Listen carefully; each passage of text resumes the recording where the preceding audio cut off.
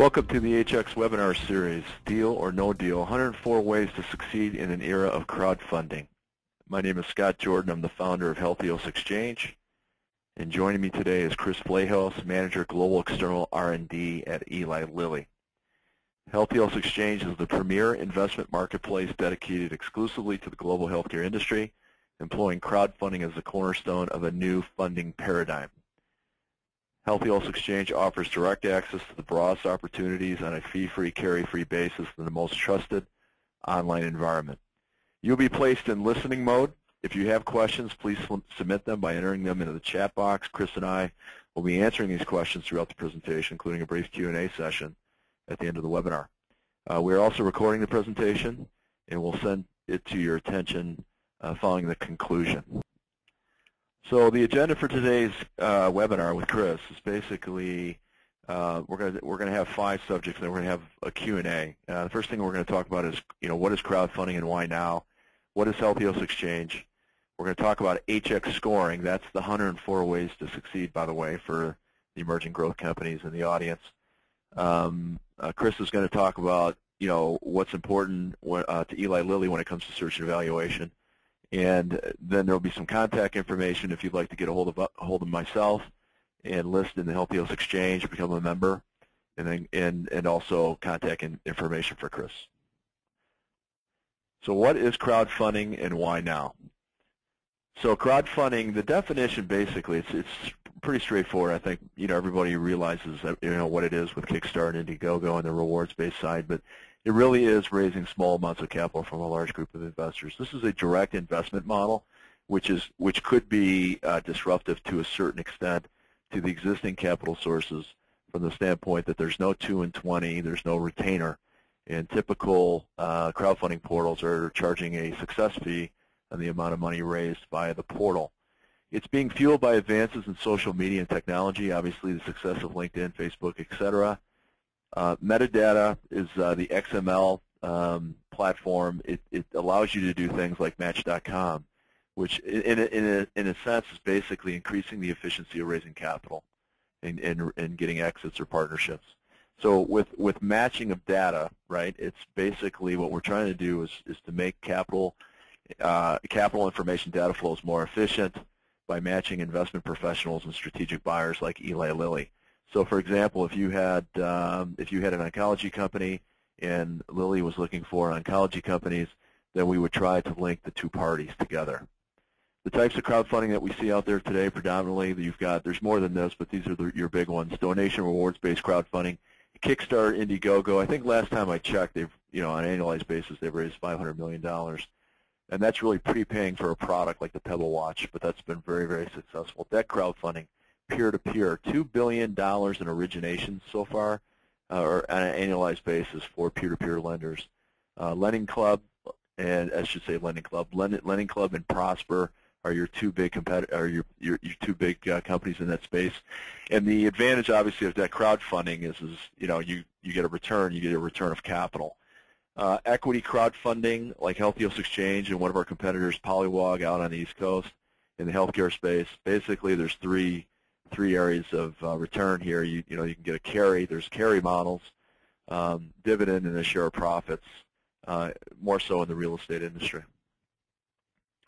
Why crowdfund now? Major economic challenges. Um, this is no surprise, even though, you know, the number of VCs over the last 10 years has been cut in half, and uh, the annualized uh, aggregate amount of capital that's uh, that's uh, you know devoted to the industry has gone down by about 17 percent versus 10 years ago. So it's uh, it's getting better, obviously, because of the IPO market and the liquidity. So it is cyclical. It's not the death of VCs by any by any nature. But if you're outside San Francisco and the Boston area, you're obviously going to be uh, very challenged trying to raise venture capital money. So we call that value void or innovation gap is what we call it. So you can see some of the definitions of that. But it's really what it comes down to is early stage companies having difficulties raising capital. Um, so what are the opportunities? Well, it's a big industry, and I'll show you some numbers here in a second. The regulatory changes, the Jobs Act really changed the dynamics of raising money directly from accredited investors currently and then non-accredited investors when Title III of the Jobs Act is passed.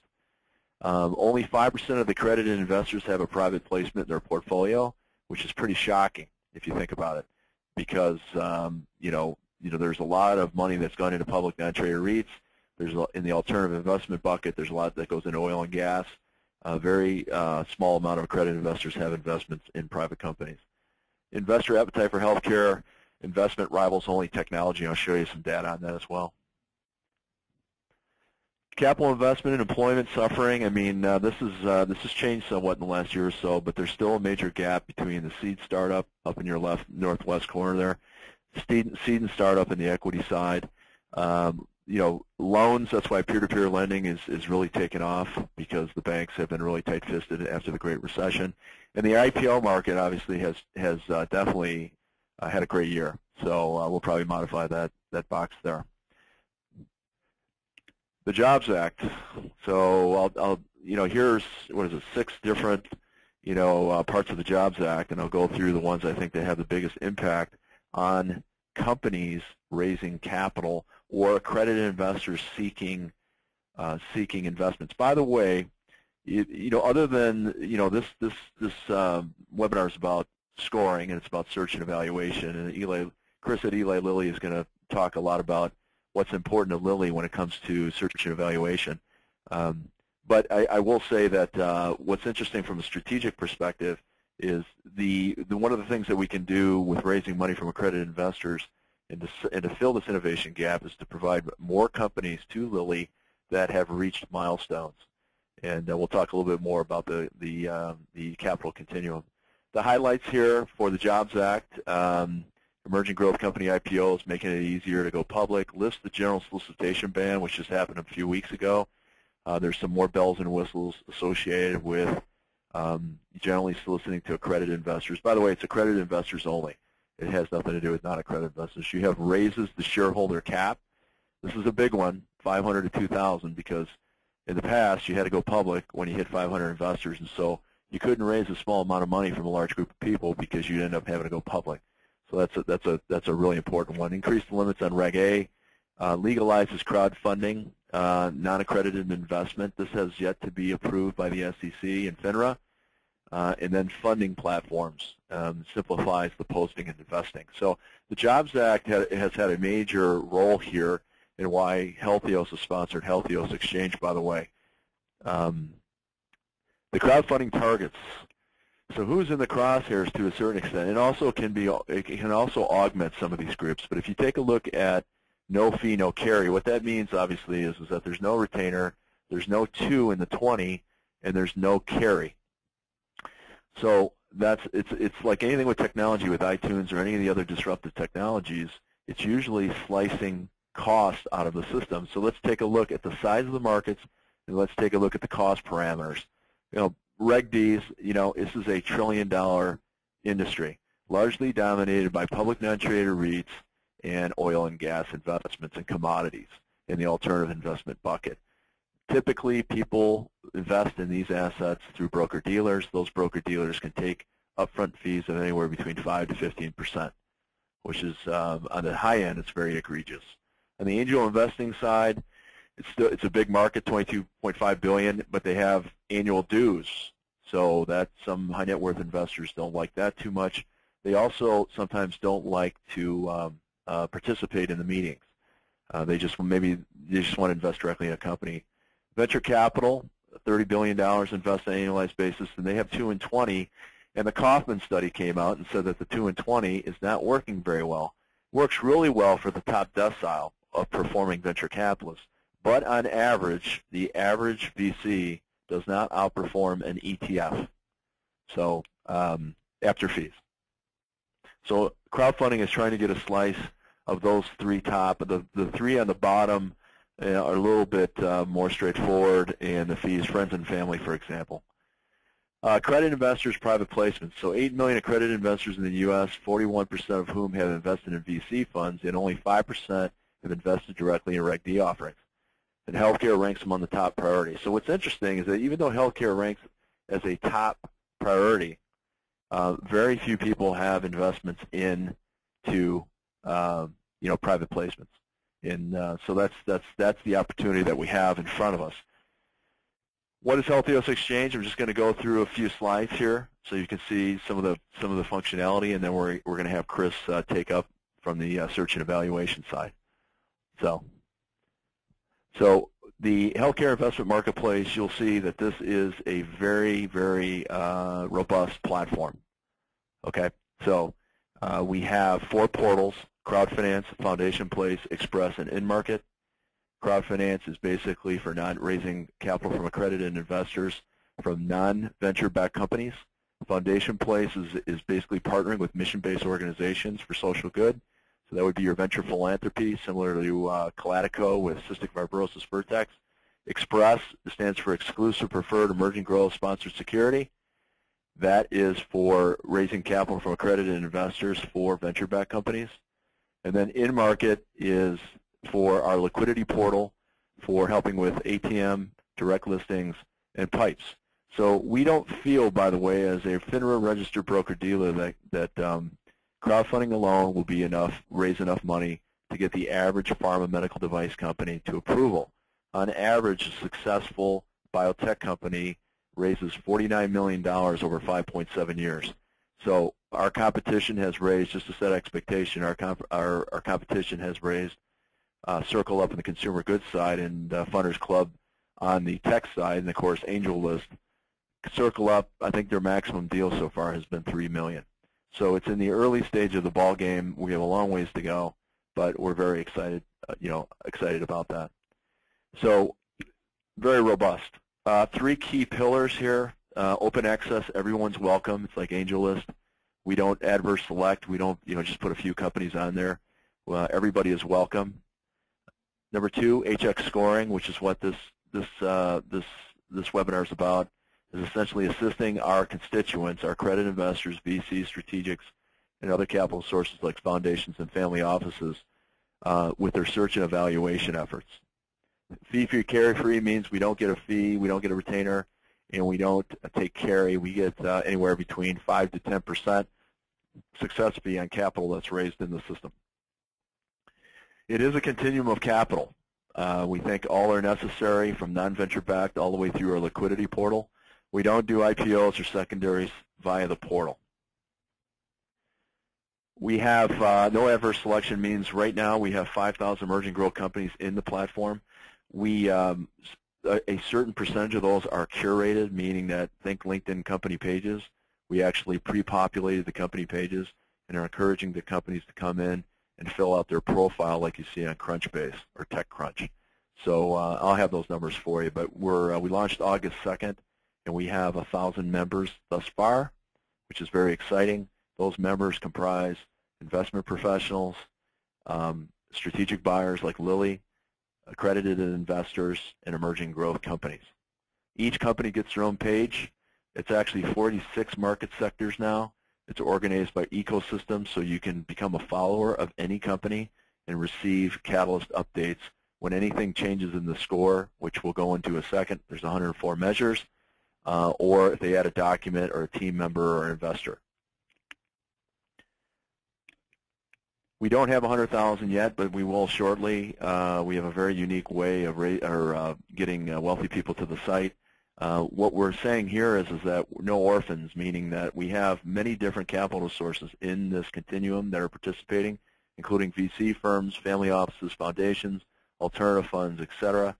Uh, and there's a fully integrated social engine, meaning that we drive these investors to your page. If you remember, we talked about Match.com. Um, you know, if you put oncology or cardiovascular devices in your profile, we'll match that with companies that have that as a development program. On the, on the research side, uh, we have our research, by the way, is, is mostly all quantitative. Uh, it's not your buy, sell, hold that you typically see from some of the other banks. It's basically the scoring is one component of the research. We also have capital flows by market sector if you're an investor wondering whether I should put my money into ophthalmology or should I put it in orthopedic devices. So we have also third-party research on the portal, and it's relevant to all the ecosystems. Here's your one company, one page. So think LinkedIn company page. Let's take it from the northeast. We'll swing around. The HX score, that's what we're going to talk about in a few minutes.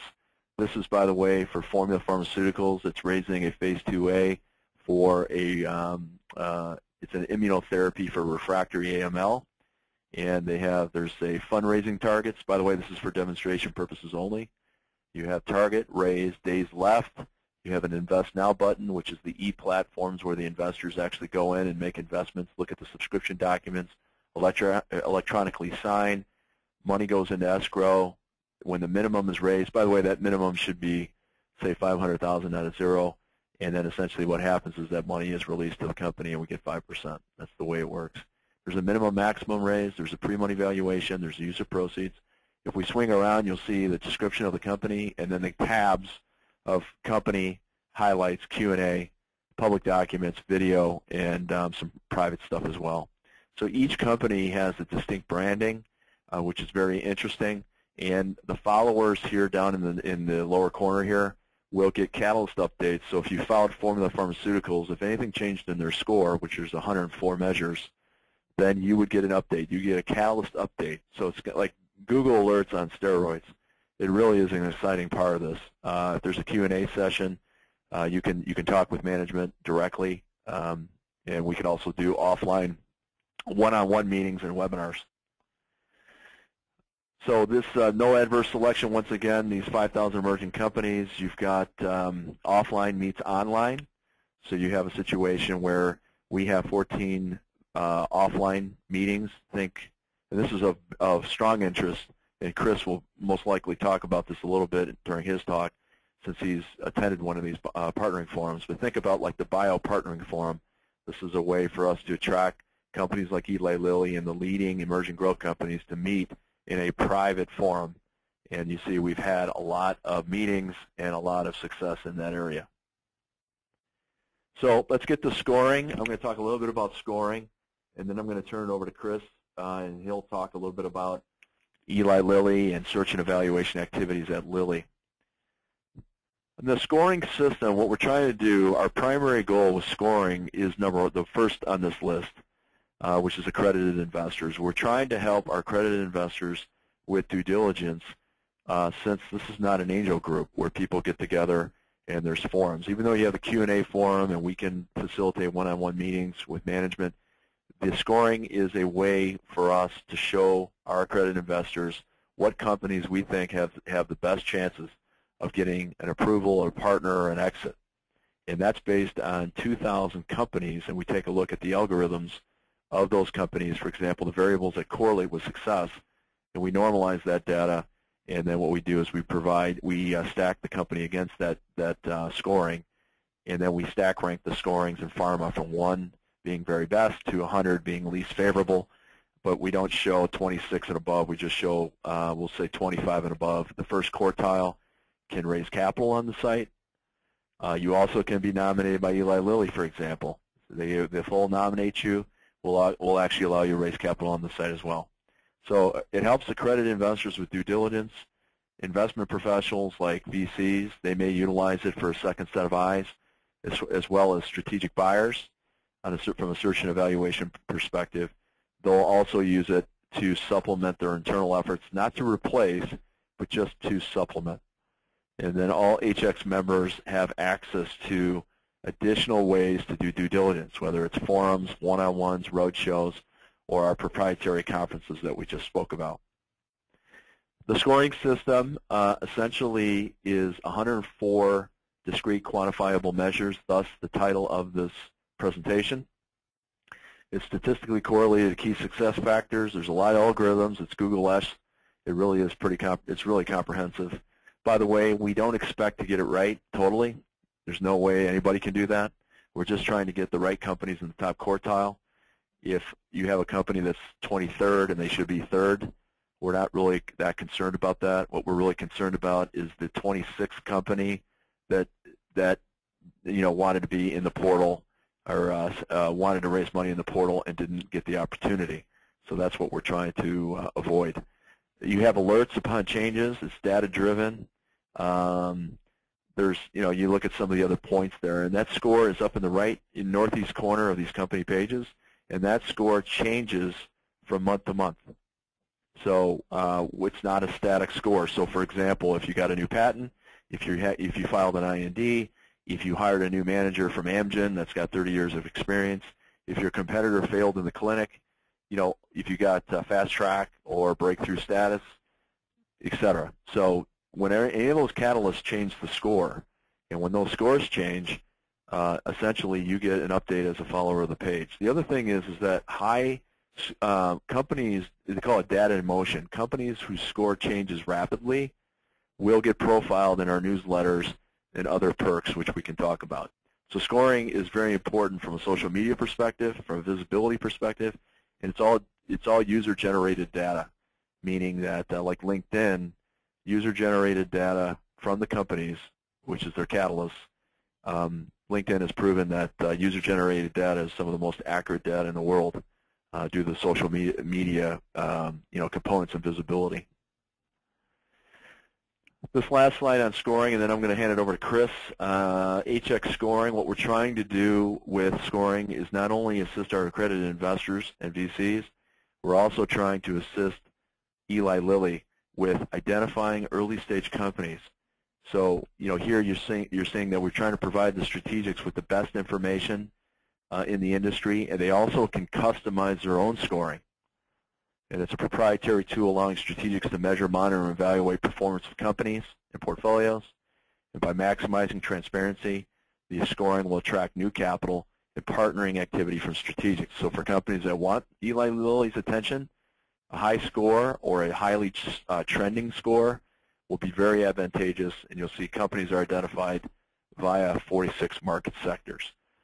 So having said that, uh, I'd like to introduce Chris Vlahos, who is a manager of global external R&D at Eli Lilly. Good afternoon. Thanks to Scott for uh, inviting me to participate. Um, what I'd like to do is uh, discuss with you um, Lilly's approach to search and evaluation.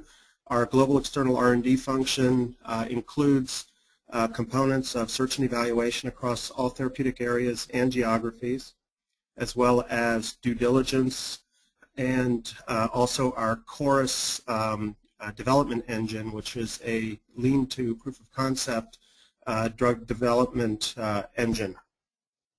And so, uh, again, as, as, Scott indicated, um, you know, the pharma is, is very active in partnering, but we're also very selective. And, and so what I wanted to do today was to walk you through uh, some of the aspects um, of what we look for in uh, potential um, uh, partnering candidates. By partnering, it could be in-license, it could be acquisition, it could be collaboration.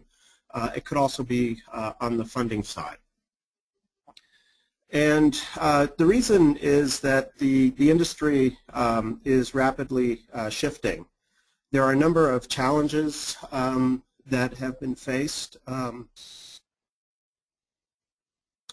uh, universities and research institutes are moving into the space of drug discovery and drug development. Um, and as a result, competing pharma companies are spending uh, large amounts of money to lock up top universities uh, in an effort to identify uh, very early uh, potential candidates and, and movers. Um, although there has been an increase in IPOs recently, in general, the reduction in the capital market uh, for healthcare funding um, has uh, both uh, both uh, the scarcity and the price of true innovation, and there's fierce competition, especially for high-value disease mechanisms.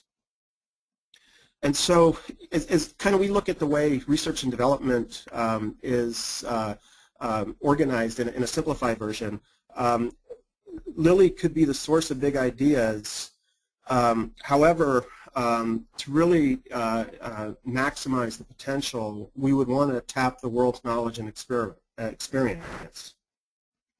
We could also be the source of capacity and capabilities, but there are practical limits in terms of resources and, and, uh, uh, and prioritization. And then again, we could be the source of risk capital, uh, but again, you know, realities are that we possibly can't bear all of the risk and, and don't have the, the necessary resources to do so.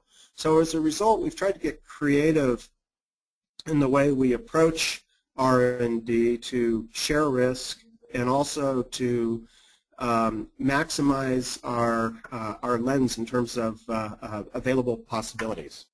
And so if you consider um, from a um, the way we view innovation, there, there's three major uh, lenses that, that we look through, so to speak.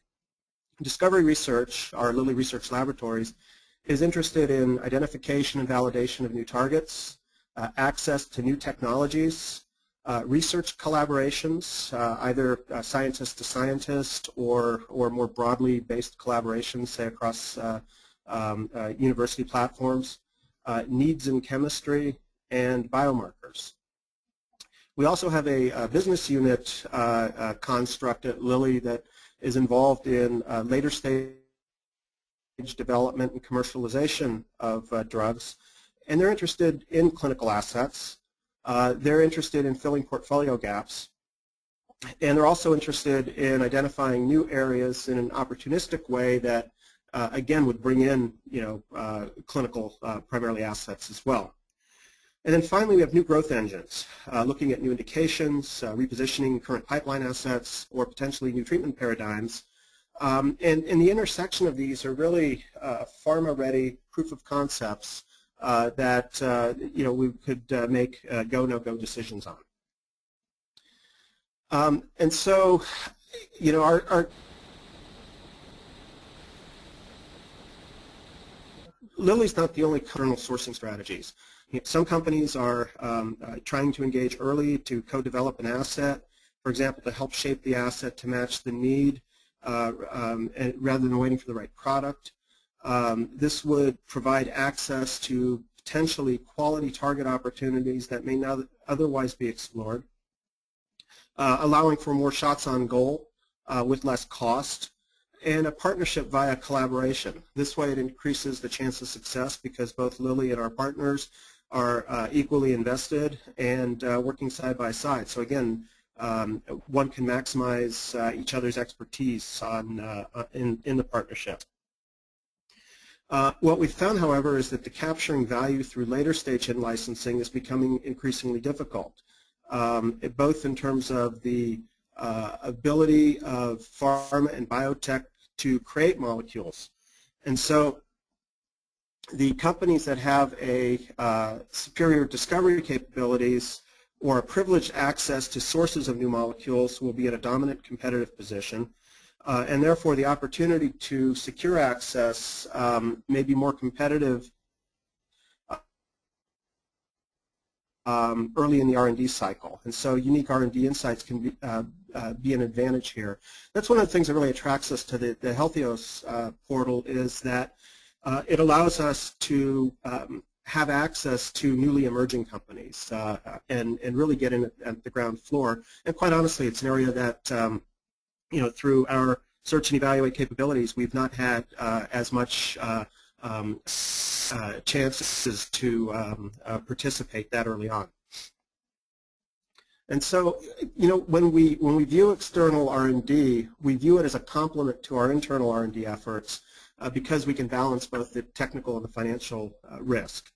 Um, we can strengthen core disease areas because of the complement of our internal R&D with new targets or platforms um, and therefore, um, you know, we feel it would have the best opportunities for in-license. We can establish relationships uh, with early-stage innovators, which would extend our footprint and, and potentially um, allow us to uh, play in spaces of new pathways or new targets uh, that can be uh, de-risked externally um, new growth engines uh, in uh, new to Lilly diseases or treatment paradigms. And then finally, um, a model that we've uh, rolled out in the last uh, uh, year or so is to leverage alternative funding partnerships, targeting geographies, targeting um, external, external sources of capital that allow us to find good companies or ideas and allow them to develop in partnership um, uh, uh, and, uh, and, and bring in molecules.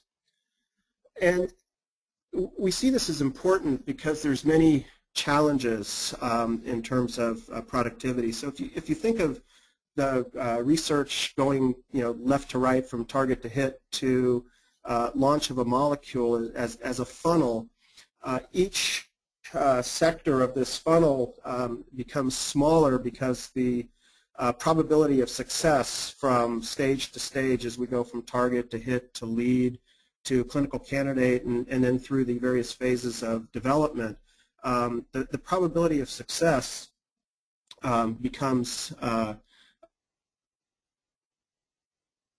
uh, uh, look at the, the mathematical equation, um, our productivity, which is the P, it, it's a function of, of the work we have in progress, and it needs to be appropriately managed. I mean, again, we, like our uh, competitors, have a finite resource and a finite capacity to take on uh, work and to optimally prosecute that work. Uh, we also want to increase the probability of technical success. So as we go from hit to lead to clinical candidate, et cetera, uh, where there's, uh, especially at the earlier stages, a tremendous drop-off, we want to maximize or increase that probability so that we could, uh, the, the things that we decide to work on and resource are things that, uh, that we would be successful in. Um, we also want to increase the, the value of the pipeline and so that the total cost per, per launch is optimized. At the same time, we want to decrease the cycle time. So to get from target to, to launch the product, we want to decrease that time.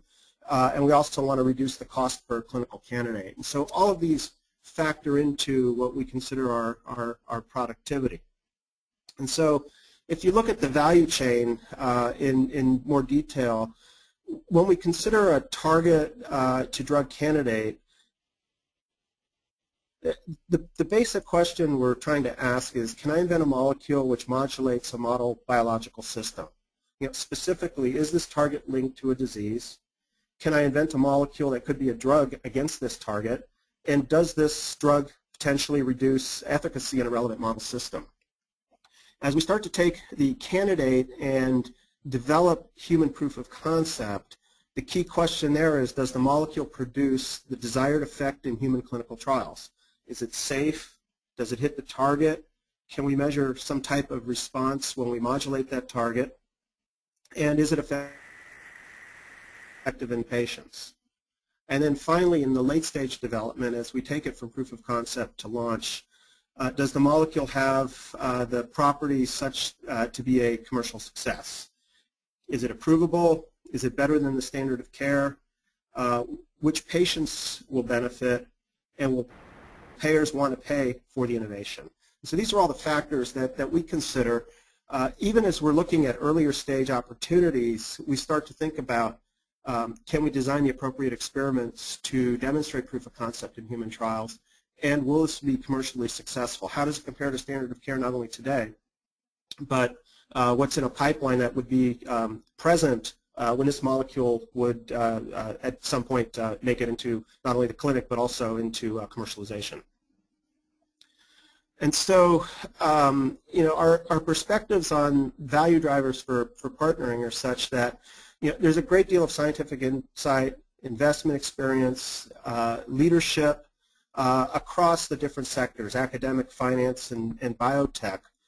Um, and, and people, quite honestly, are very um, uh, proud of the accomplishments that they have in taking a molecule to a certain place. Um, to be honest, our company's performed a lot of due diligence on a large number of assets that are uh, purported by the owner to have attained a key uh, value inflection point. And not every um, molecule that we look at under diligence uh, pa uh, passes our, our scrutiny. Um, the, the four fatal flaws we often see include uh, material quality from the CMC perspective, uh,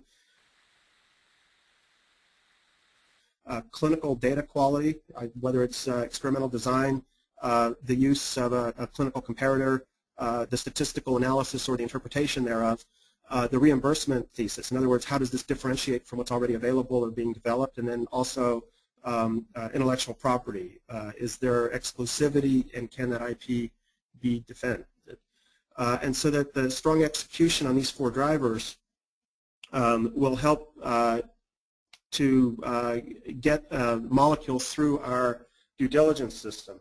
Again, from the, the 104 levels of success that uh, Healthios has, um, especially on the early stage companies in which you know there's there's very little data uh, either on the clinical side or on the on the uh, preclinical side.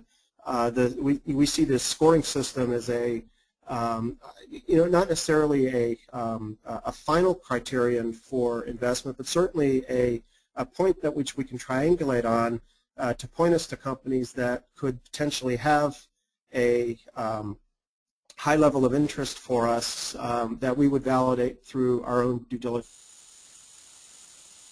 process as well. Yeah, As one looks at the um, tipping point in, in partnership, in the past um, we felt that you know, if the compound had appropriate um, drug-like properties, good intellectual um, uh, uh, position, um, and, uh, and proof of concept, um, you know, depending on, of course, the FDA and, and the uh, OUS agencies and, and, clinical data, that was enough to uh, consider for partnering decision. But currently, there are a lot of other uh, parameters that, that um, uh, also impact these decisions. Uh, for example, um, the uh, generic landscape, the, the biosimilar legislation and or landscape, the, the new FDA that's focused um, primarily on safety as a, a, a key driver, uh, the influence that payers and policymakers have, uh, differentiation, and, and, a number of other of these parameters. Um, it, it, has really um, caused a shift in terms of the, the considerations for um, our uh, partnering um, uh, uh, evaluation. And so you know, what we try to do in, in our group, uh, Global External R&D, is you know, we're, we're looking at a number, you know, up to hundreds of opportunities across the globe and across various therapeutic areas, and we're trying to um, estimate um, based on the probability of success uh, when a product will launch, as well as how commercially attractive a given uh, product might be, you know, based on uh, clinical data, strategic fit, um, a uh, IP position, uh, competition, et cetera. So we're, we're trying to look at those companies, those opportunities that will have uh, the best chance of being successful and also fitting within our, our strategy. And so you know, the, the companies that do have a very high um, uh, uh, forecast of being attractive and, and, that we think fits in, in a, you know, with appropriate launch timing and a, and a, high probability of being successful, you know, we'll take through our diligence process and, and ultimately through uh, uh, terms discussions. And those comp there's a number of companies that we identify that are probably not quite ready yet, but we think because of the innovation or the fit, um, when there's a key inflection point, you know, we'll continue to monitor the companies and quite honestly, there's a number that we also, um, you know, that for one reason or another, uh, based on the previous slides, uh, we don't see as very attractive, and, and we try to decline early so we can focus on those uh, that we feel would be, um, uh, that have the highest uh, uh, value for us. And so just want to say a little bit more about our due diligence process because it, it really does bring value to the, our partners uh, and potential partners as well as their investors. And so, you know, through the, the, the Lilly values of respect for people, integrity, and thirst for excellence, you know, we've set up a uh, process that, that really fits there. And so, you know, when we conduct a due diligence, there will be in-depth exposure to Lilly functional area experts. They, they comprise the due diligence team. It builds our uh, understanding of the partner's asset and technical capabilities and how that drives our alignment uh, and uh, commitment. Uh, it provides an independent assessment, um, which again uh, is very uh, valued by our partner companies. And also it gives the prospective partner very transparent insights into our culture, our approach to decision making, and, and how this molecule will fit in the long run.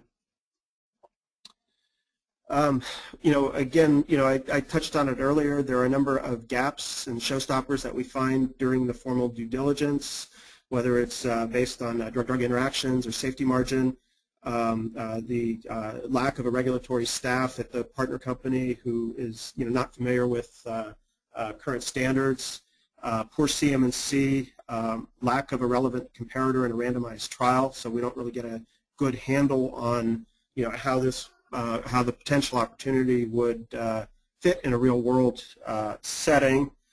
Um, uh, inappropriately managed outsourcing work or uh, standard operating procedures that are not developed or followed or documented. And so, you know, failure uh, by potential partners to plan and execute with these end products in mind. So again, you know, it, it's important to us that, you know, uh, things be um, appropriately managed from the very beginning uh, because it really helps to, um, in terms of valuation for, for due diligence process. Um, one other gap that we see that's very um, uh, much a showstopper in former diligence is, is the quality of uh, intellectual property, that there's a valid exclusivity, the patent life is enforceable, uh, you know, whether there's orphan drug classification. We see this quite a bit with uh, academic spinouts because there's kind of the clash of cultures of um, publish uh, or perish. We see it as publish and perish from a commercial perspective. You know, academics are, are you know, driven towards the, the key publication to maintain uh, grant funding. However, a lot of times these publications represent a prior art that makes the IP fatally obvious and, and uh, you know, doesn't allow for that protection. And you know, we also see, you know, we, we value composition of matter. We see a lot of opportunities that have method of use or formulation IP, which um, you know many times can be very important, but you know the valuable patent is on the on the composition side. Um, we want to make sure that the chemistry is correct in the patent's best, best mode section, um, that the Patent Counsel um, is comfortable with the scientist notebooks, um, and uh, you know a lot of uh, uh, companies, you know, that uh, used by uh, generic pharmaceutical companies, for example, um, you know, are are experts in in the IP. So basically, if we want to invest behind a strong exclusivity thesis, um, you know, it will be attacked, uh, and it's important to know how, how this is uh, going to come. And so, just in, in my last couple slides, um, our internal uh, strategy um, is kind of a find it, fund it, and development strategy. And our find it is coming through a number of different sources, uh, collaborations with universities, investment um, uh, banks, and, and uh, biotech and pharma collaborations, public-private partnerships, uh, venture capitalists, uh, and uh, an open innovation portal that, that we've established as well. And so our group, in conjunction with the research laboratories and, and the business units, are trying to find the right opportunities. We'll fund it either through internal sources or through capital funds, and ultimately develop it, whether it's through our own um, uh, center of excellence um, and, and, internal resources or through uh, our Chorus, uh, Lean to POC, or other development platforms uh, that are set up in place to uh, essentially mirror the uh, internal portfolio and develop external um, opportunities. And we see these, this being a combination that allows us to contribute to a strong pipeline and a sustainability in our R&D. So what we want to do is try to complement our strong integrated R&D capabilities um, and uh, uh, with uh, appropriate external opportunities and allows us to become a leader in developing new and innovative patient uh, medicines for patients. And so we have in the last uh, few years set up a number of uh, novel external innovation pathways. Um, we've are talking and have set up alliances with mid to late stage uh, direct partnerships with uh, biotech companies and, and even with large pharma. Um, we've also created unique funding partnerships through, for example, um, uh, either uh, uh, groups that have you know access to capital or through foundations. We've set up a number of collaborations and partnerships through universities, both on a peer-to-peer -peer basis with our scientists as well as on a larger scale.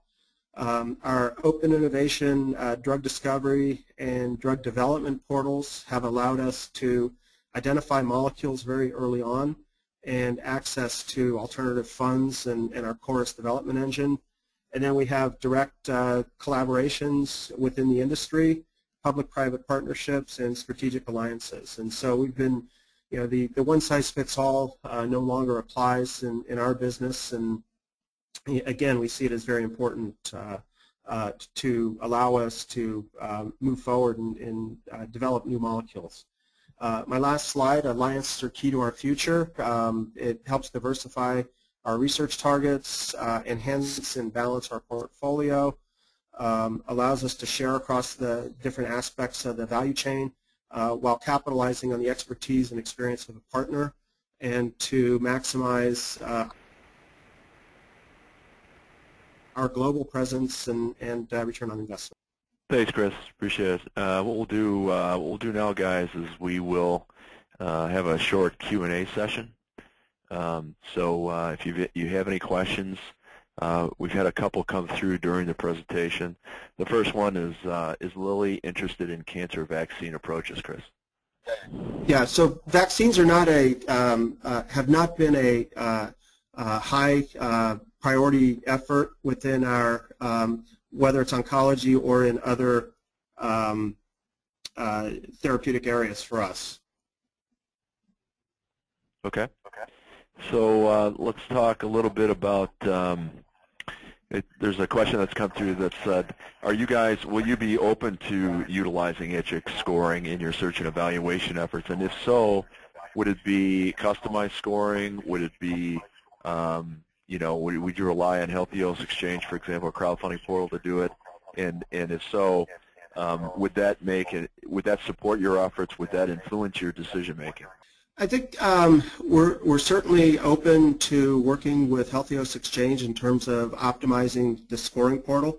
Um, it, it's relatively new, and, and, Scott, as you indicated, it's also kind of a um, work in progress as, as things go forward. We certainly see it as an important data point um, and uh, and also see the importance of working uh, with HealthiosXchange in terms of um, you know potentially customizing it uh, as as you know as we get more data and evaluate it.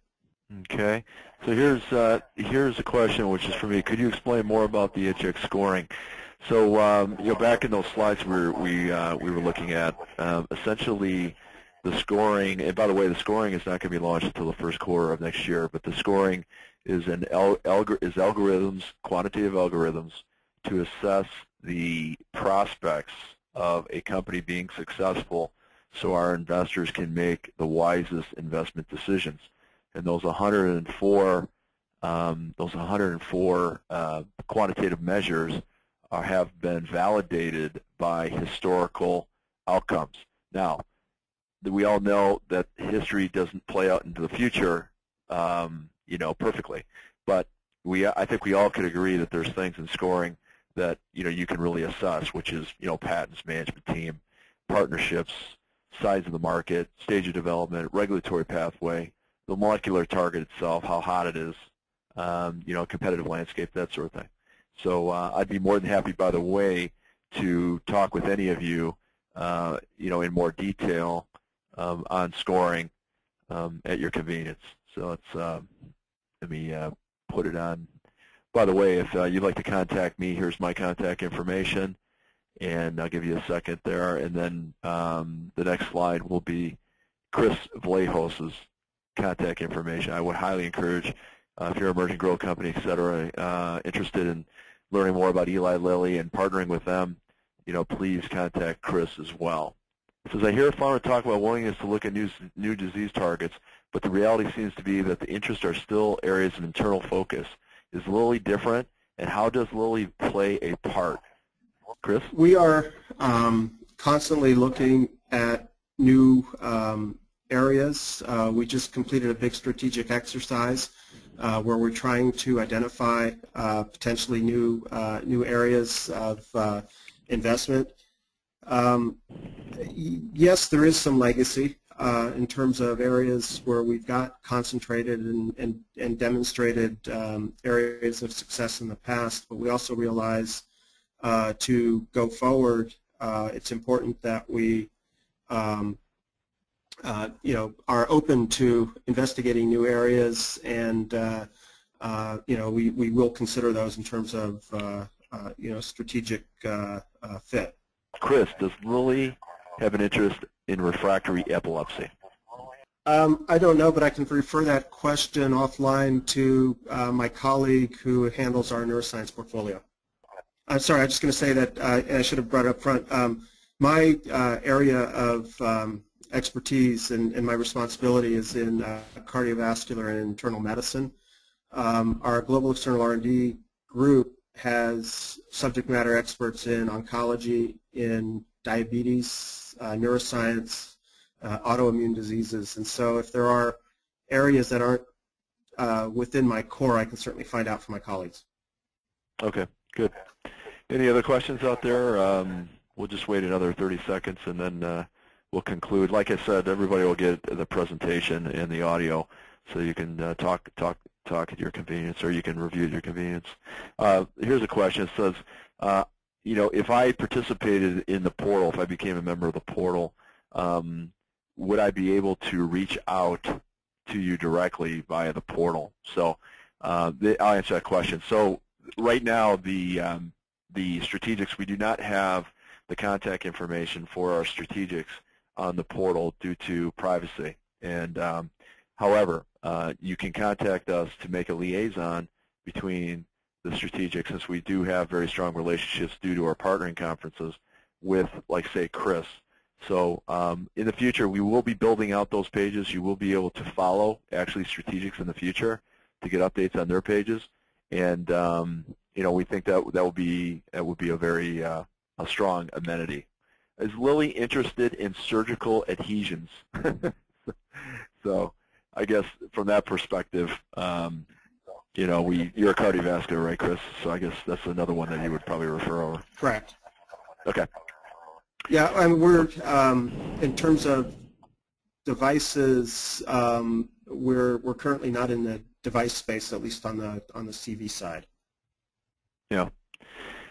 Okay, guys, I think that's it. Uh, just want to encourage all of you to curate your pages, uh, send your documents, um, you know, uh, to us so that we can curate your pages. The the more your pages are curated, the more detail, the the better it will help both your score. It will also help Chris and his team evaluate your company, uh, and also friend each other as well. You can friend Chris Vlahos through the portal, and by doing so, you guys can have private discussions. Thanks again, guys. You feel free to get a hold of me at any time. My direct line again is 847-849-1736. Have a great uh, have a great day and a great weekend.